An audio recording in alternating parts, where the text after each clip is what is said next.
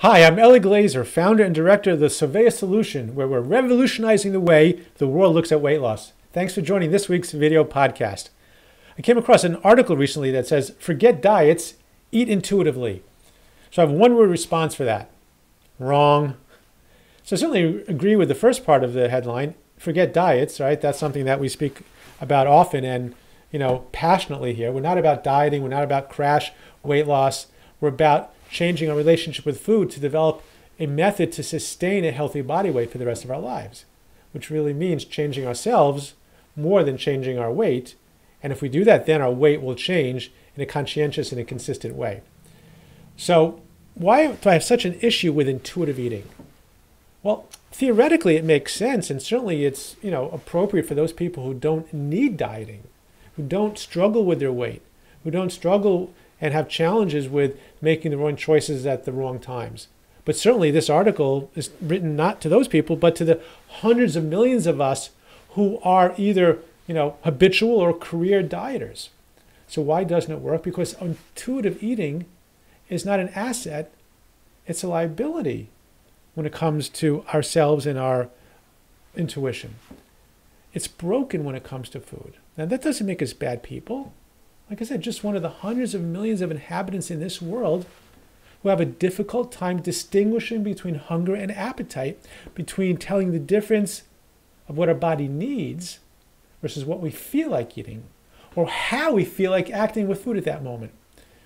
So when it comes to food, our intuition is more about indulgence than sustenance. If we just let our intuition guide us, we usually end up just feeding our feelings instead of nourishing our body. It's certainly not a formula for conscientious and, consist- and consistent weight loss and long term change. So, the author listed several steps of how to really apply intuitive eating. And these are those. She said, take time deciding what to eat. Okay, that makes sense theoretically. Listen to cravings. Now, this is how she describes this part. Our bodies tell us what we need. This is where cravings arise. Have you ever woken up and had a strong urge to eat something? Perhaps eggs? It probably means we're in need of protein. Or perhaps you crave greens or something else. This is our bodies speaking to us and telling us what we need. Now, I've been in this industry for 15 years. I've worked with thousands and thousands of people, either directly or in the context of you know, group work or speaking in front of audiences. I've never heard the word craving associated with greens, except maybe mint chocolate chip ice cream.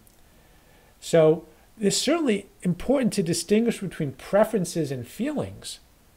Right? We can certainly have, and it's important to respect our preferences in regards to what we enjoy. Deciding, making decisions within our food plan. If I don't like cantaloupe, I prefer oranges. That's great. Or if I don't really, you know, stomach broccoli so well, so I'll stick with spinach or green beans.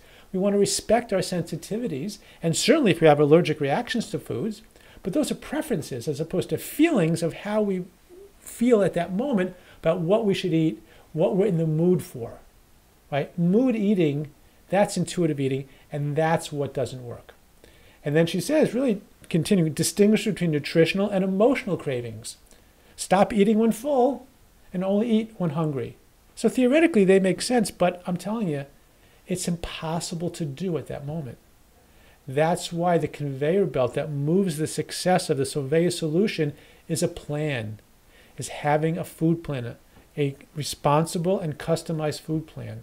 Because if we leave it to the momentary impulses and desires to determine what we want, to act on our intuition, right, to crave eggs, right, we're not going to choose the eggs because we're really not craving eggs. We're craving something that's going to make us feel full, that's going to satisfy indulgence, or that's going to comfort us at that moment.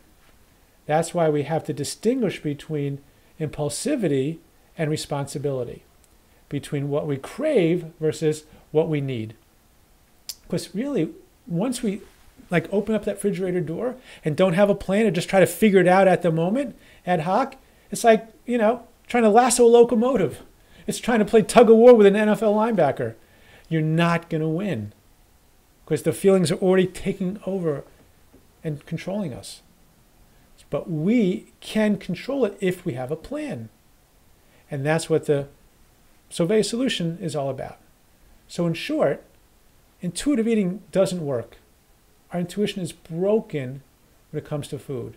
It's not an asset, it's a liability. It doesn't make us bad people, just one of the hundreds of millions in this world who need a plan and direction and guidance with so many things in life, like we all do, but specifically in our relationship with food. Because if we fail to plan, then we're just planning to fail. But if we take care of our food plan, then the food plan will take care of us. Thanks for watching. Have a great day.